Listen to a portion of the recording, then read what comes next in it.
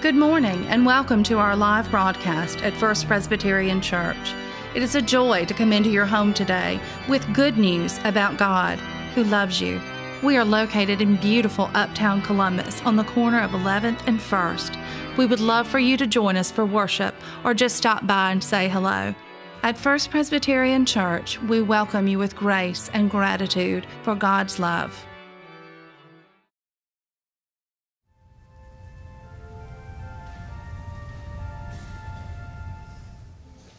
Listen to these words as they may speak to you today, where you find yourself. Praise the Lord. I will give thanks to the Lord with my whole heart, in the company of the upright in the congregation. Great are the works of the Lord, studied by all who delight in them. Full of honor and majesty is his work, and his righteousness endures forever. He has gained renown by his wonderful deeds. The Lord is gracious and merciful. He provides food for those who fear him. He is ever mindful of his covenant. He has shown his people the power of his works in giving them the heritage of the nations. The works of his hands are faithful and just, and his precepts are trustworthy. They are established forever and ever to be performed with faithfulness and uprightness. He sent redemption to his people. He has commanded his covenant forever. Holy and awesome is his name. The fear of the Lord is the beginning of wisdom, and all those who practice it have a good understanding. His praise endures forever. This is the word of the Lord. Thanks be to God. We are continuing on in uh, the book of Ephesians. This is Paul's letter to the church in Ephesus. We were in chapter 4 last week. We're moving to chapter 5 this week. We are reading from chapter 5, verses 6 through 14. That is 6 through 14. Listen now for the word of the Lord. Let no one deceive you with empty words. For because of these things, the wrath of God comes on those who are disobedient. Therefore, do not be associated with them. For once you were darkness, but now in the Lord you are light. Live as children of light. For the fruit of the light is found in all that is good and right and true. Try to find out what is pleasing to the Lord. Take no part in unfruitful works of darkness, but instead expose them. For it is shameful even to mention what such people do secretly, but everything exposed by the light becomes visible. For everything that becomes visible is light. Therefore, it says, Sleeper, awake, rise from the dead and Christ will shine on you. This is the word of the Lord. Thanks be to God.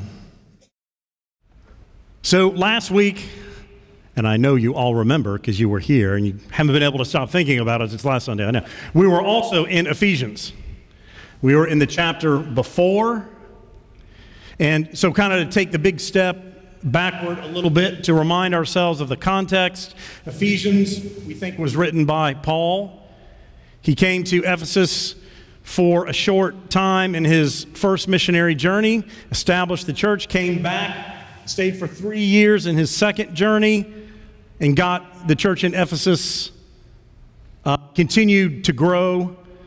And the reason he came back and stayed so long is also one of the focuses of Ephesus, and that's unity. So we have Jews, we have Gentiles.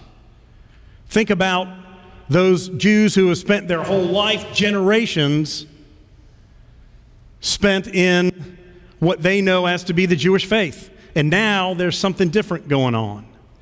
They're being told that Messiah has come, and now they need to respond to that. And they're thinking, how? Well, wait, he was, he's one of us. He was Jewish.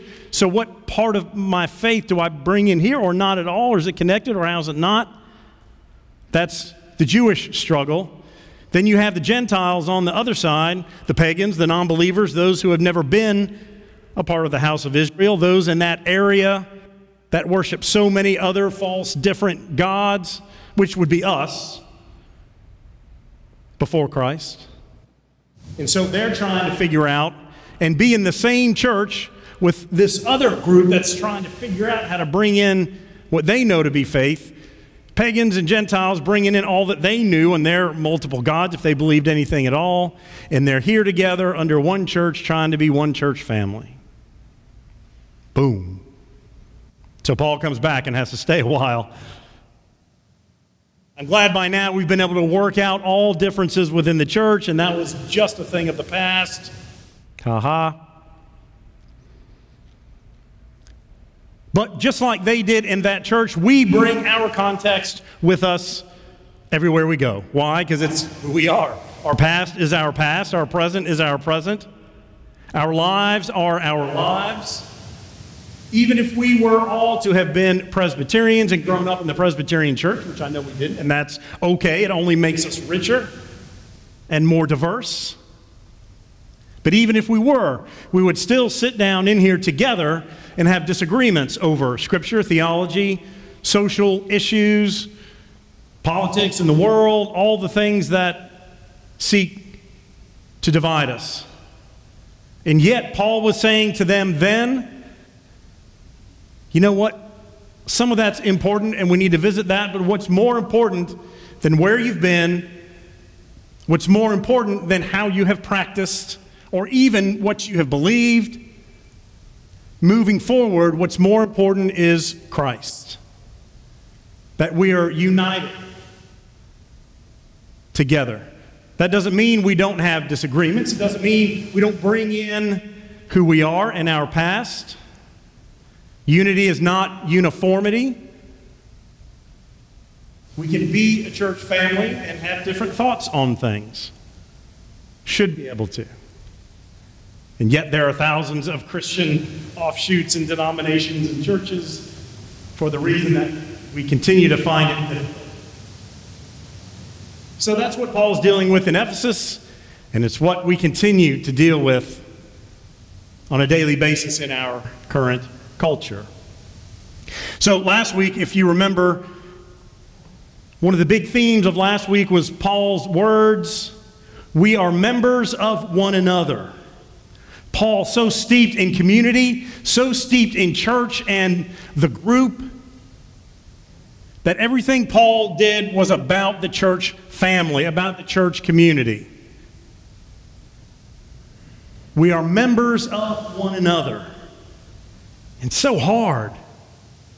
Because if I'm a member of you and you're a member of me, that means the things I do affect you and the things you do affect me. We often think, well, I just if, if I'm doing, if I'm choosing darkness over light, if I'm choosing complacency over faith, it's just going to affect me, but it's, it's not. As a church family, as brothers and sisters in Christ, we affect one another. All members of one another. That's hard. We know that's the right answer, but making that happen such a challenge. Loving your neighbor as yourself? Come on, who can do that? I love myself pretty good. Do I love you the same way? Well, I try, but you're not always there. I'm always with me.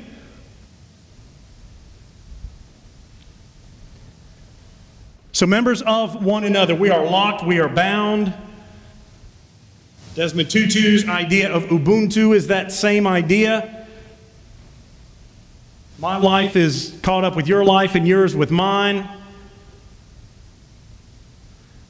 So then it goes down last week again and says, These are some things that will lead you away from God and one another, and here are some things that will lead you closer to God and one another.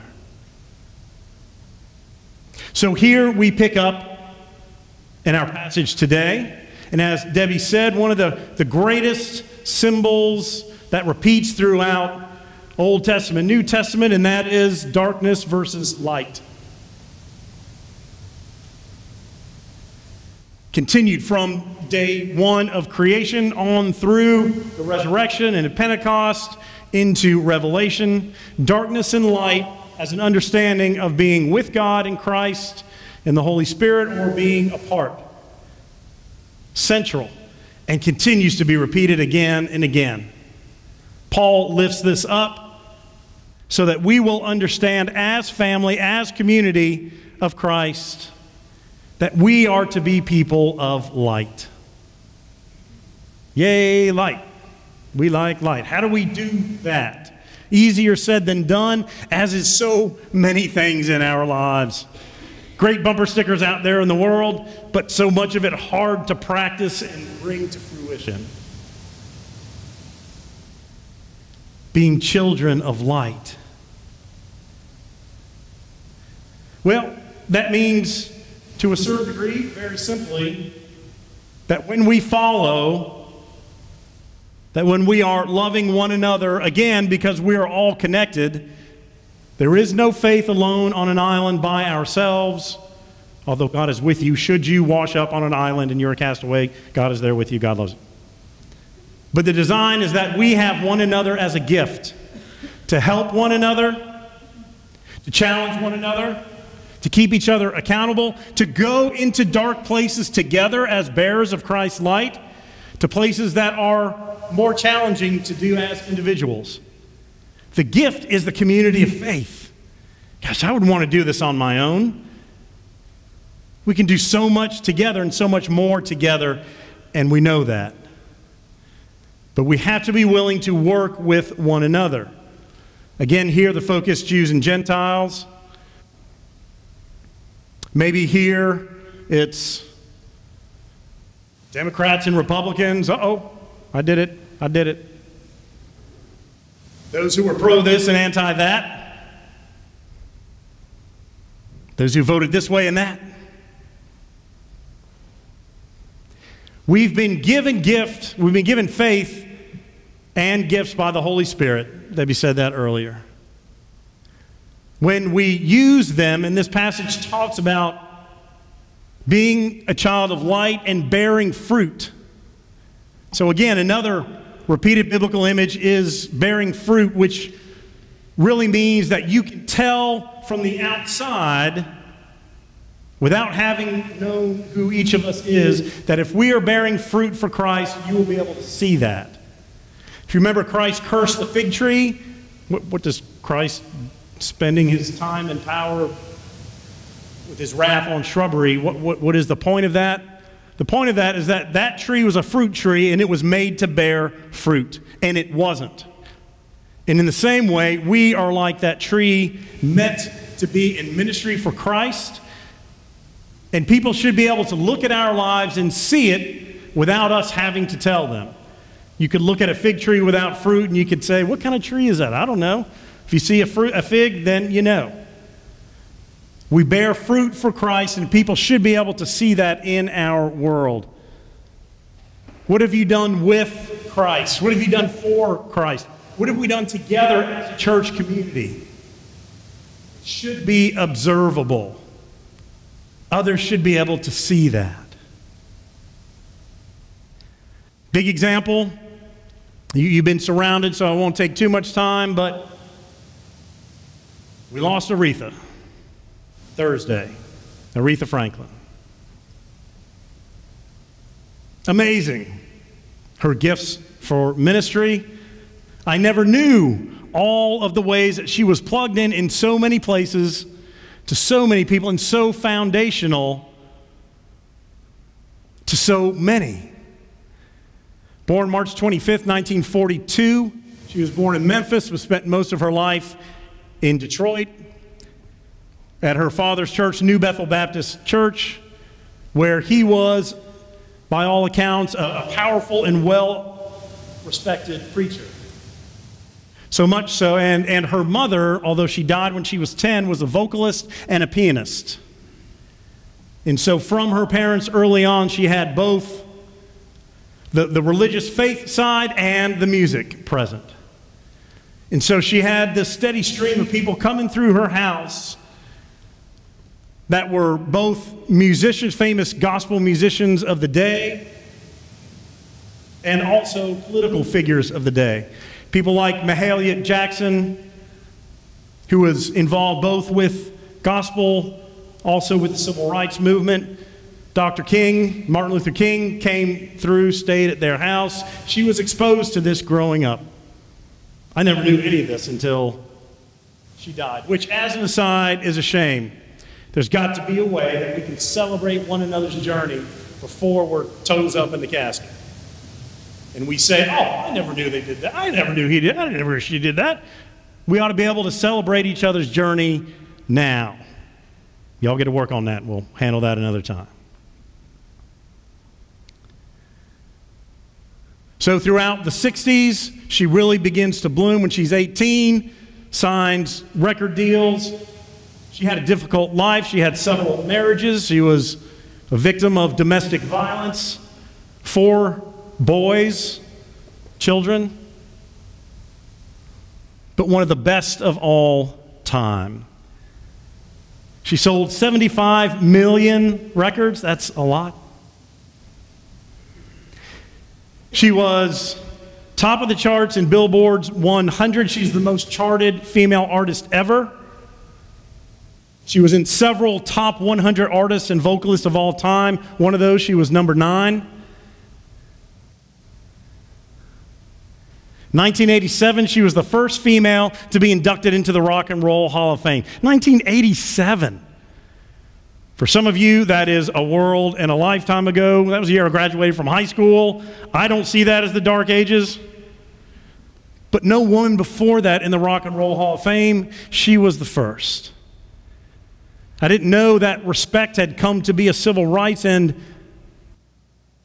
feminist song of support and unity. Why? Well, I never studied her life before. Thought I knew, but I didn't. Amazing. So many people in so many different areas of life. Uh, I'm going to share a couple of tweets with you.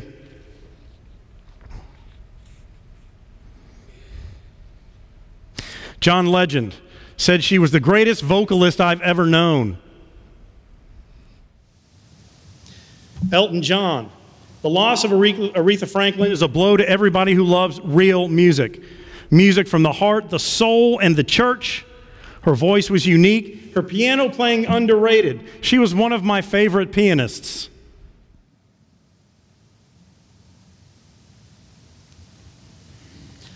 Donald Trump, current president of these United States.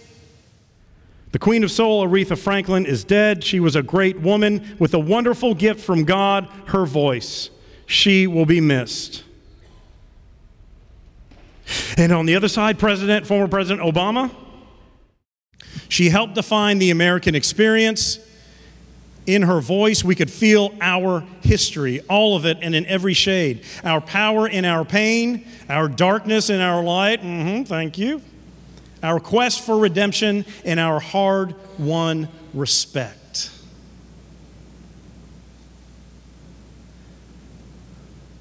Wow. I didn't know the whole church side Aretha. I knew that's where she started. But in hearing her current pastor, Robert Smith Jr. at New Bethel, apparently she never strayed too far from her church. For her, that order was God, church, and her father, the pastor. Where are my girls? I don't think I have a shot. And her pastor said that no matter what she did or where she sang, even the Star Spangled Banner, you could see and feel the church in it. Isn't that great? No matter what she sings, if she's a completely secular event, completely secular music, whatever she does, you, she, you can see the church in it. That is fruit. That we can see the Christ in one another, even if we're not doing churchy things even if we are out in the world and we don't necessarily have Christ as a common point, and even if we do, we need to be able to be seen and put out there those gifts, that light of Christ, so that others will be able to say, Gosh, everything he does, I see Christ in him. I see church in what he or she does. At the end of our lives, we will go through our obituaries and it'll say where we went to school, where we married, maybe our kids, some interests of ours. But I'm telling you, if we get to the point, and those, those are all great accomplishments, I'm not downplaying that. But what really seems to make a difference as one who will be speaking your words at your service, or maybe you mine, are the ways that you help other people and I help other people. The way that you have used your faith so that others will be able to see. That starts in the home with your family, your cousins, your parents, your children, your extended family, and moves out into the community. Oh, yeah, we knew he was a person of faith. We knew she was a person of faith. And they never assaulted us with the Bible or told us we were going to hell if we didn't believe what they believed but we could see it. They bore fruit and we could tell. That is our call today.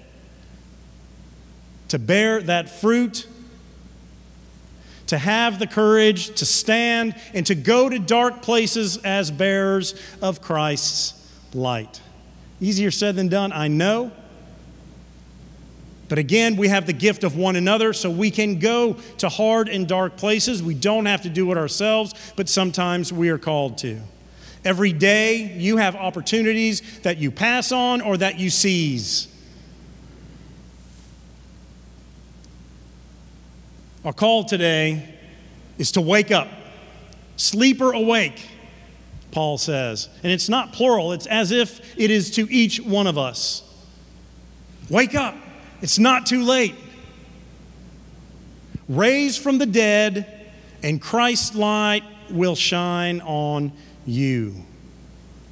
The same way that Martin Luther, German monk, started, we refer to as the Protestant Reformation. Every day he would remember his baptism when he splashed water in his face. Every day that you wake up from your sleep in your bed,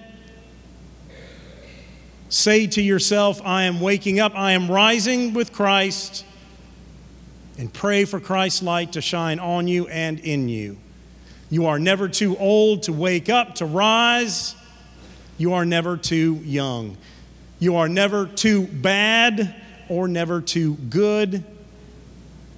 Every day we rise up into Christ or we don't.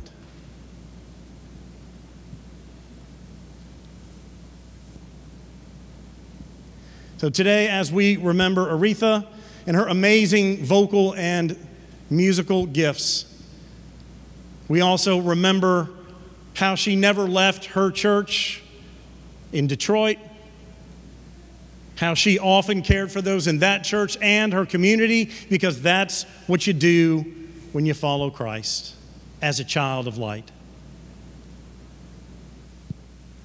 And Paul says no matter what our differences, the light of Christ is more important and can and will unify us.